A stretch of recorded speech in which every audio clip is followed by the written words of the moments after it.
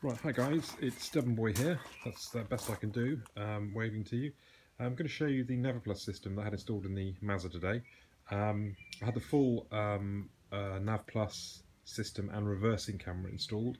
Um, the system cost about 800 quid to ship over and 200 quid to install today. I use Prestige installs in St Albans. They're very reasonable and I think they've done a really good job and I'll put their, their details in, in the post that accompanies this. So I think this is the first uh, install in the UK and, and firstly there's the reversing camera just there, which I think is a fairly pragmatic place to put it. Difficult to put it in the bumper and obviously you need the centre here clear to actually open the boot etc. If we go around to the car, um, uh, you know, keys out, you can see my garage which is nice for you. You know, firstly inside, um, it's just great how clean it is in here. Um, there's no cabling, um, uh, and I haven't installed my, my phone into the system yet. I'm just going to run through with it as, as, as I would, but it looks completely stock, right? The only thing that's been added to the cabin is this small microphone for Siri. I think had I been home today, I probably would have paid a bit extra to have it routed up through here and maybe, you know, coming out on on, on, on here or something like that. But but hey, first world problems, I'm sure you agree. So let's just start this um, sucker up and, and see what happens. And clearly, you know, anyone who's thinking about this probably faces the same, same dilemma I did, which is you can you can change all of this and and still keep things like the directions coming through your center console. But I didn't want to lose a trip meter and I didn't want to lose my clock. I don't know why. I just love the Maserati clock, and and I think you know this system is a good pragmatic um, compromise between the two. So let's fire up. Uh, I'm just going to have to put my seatbelt on for a moment, otherwise we're going to be bleeping. And there are going to be lots of bleeps because I'm in my garage and um, obviously there's stuff parked all over the place. And what I might do is um, is just actually um, show you the reversing camera to start with. So there we are, there's our stock system.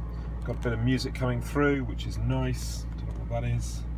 Um, uh, and and let's start with um, let's start with the reversing camera. So stock system, it doesn't matter whether you're in a stock system or you're in the Nav Plus system, you hit reverse and there we are, there's our reversing camera. I've got no grid on this, I don't know why. There was a grid on the um, on the uh, on the um, video that Nav Plus sent over, but on this one, let's get out a bit of light for you guys. Um, you can see um, the camera works beautifully and we get out into the daylight. That's probably not going to be helpful actually. Let's stick it into park again. And yeah I think I'll go back in the garage. It's probably better for the visuals. Let's go into drive get it back in the garage I won't put it all the way in. Uh, that's it. That's probably not a bad place to leave her. Okay so we'll put it into um, park. And there we are. So you can see it's it's instantaneous and it doesn't matter whether you're in in, in one of them so let's go into the mode you want to see. So press down here one two three. Uh, I haven't got my phone in so I thought I'd give you the full install. Obviously if you've got your phone on it'll come up straight away. So open the center armrest and I will plug the phone in. Excuse me a moment. Right phone is now plugged in and sits in the armrest for the rest of the, the journey to the south of France. Just get it so it shuts. Got lots of shit in there. So there we have our, our screen. Um, so very familiar to us all. Uh, hey Siri, um, open messages. I'm listening. Take me to Luton. Getting directions to Luton why anyone want to go to Luton. Um, God only knows. I clearly had a route, previous route when I was playing around with. So there we are. Come the directions to Luton, and um, you know it's very, very good quality. The sound quality is excellent, and clearly you have constantly updated maps through through Apple Maps. Now I know people prefer Google Maps, and I prefer Waze. I think we all prefer Waze.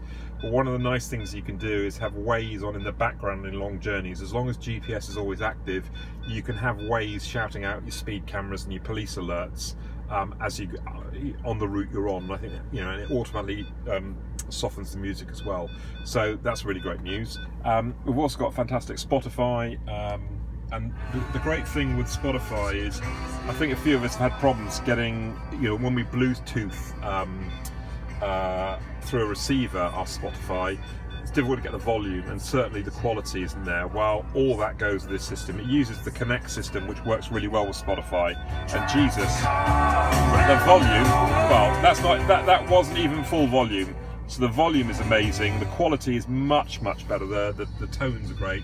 Comes through your system, so your normal volume button works here, but obviously you can't change track or anything like that. Um, and then back here, you know, um, I've actually answered uh, messages through Siri. I'll see if I can do it. Hey Siri. Messages. Messages. You have two new messages from Redding. He's very nervous. He has never ever outsourced anything before. Forgot to tell you Henning was on HIGNFY. Would you like to reply? Yes. Go ahead. Okay, that's understood. Uh, and I'll see if I can see Henning's performance. Your reply to Redding says, Okay, that's understood and I'll see if I can see Henning's performance. Ready to send it? Yes. I'll send it. So that's the first ever uh, Siri Siri um, message I've ever sent. Um, uh, so there we are. We're all, we're all on a journey of discovery here. Um, the other great thing is you can get. Um, so when I go down the south of France, I like to have UK radio. So clearly, ProTune here will allow us to have Radio 5 Live or whatever, Heart Radio, whatever we want, playing down through our systems. And again, just to prove it to you, if I flip into reverse, it all stops and up comes the reversing camera back into park and, and back to system. So that's it really. I think if I was doing it again, I probably um, would change the position of the microphone. But I think overall for a grand installed, um, I, I, I have to say I'm impressed. I think the other thing I should point out is the wiring in a Quattroporte is different to the wiring in a Gran Turismo. So my guy had a few difficulties because the coloured wires and the instructions didn't match reality. He also said that, you know, it was more than a two hour job. So some of the instructions he thought from Naviplus were clearly written by somebody who had uh, you know installed the system already so they're not very user friendly so I don't think he was touting for more work but you know that's he was trying to just justify why it took him nearly three and a half four hours rather than the two that Navi Plus suggested. So you know I'm still happy either way. Um, I think I've got a great system and that if I'm ever at uh, any of the meets I, you know stop me and you can get in the cab cockpit and play around yourself I've prattled on now for nearly eight minutes. Any questions, file them through the forum. And look, if you if you if you fancy giving it a shot, uh, I would recommend Prestige installs. They've done it before. I'm the guinea pig. I've told him what I do differently, and I think he accepts that. Um, he's probably going to come back and do a microphone free of charge, but I think you know he's got the knowledge now, so I'd, I'd heartily recommend them. His name's Paul, uh, and that's the advert for him over. Take care. Speak soon, guys. Bye.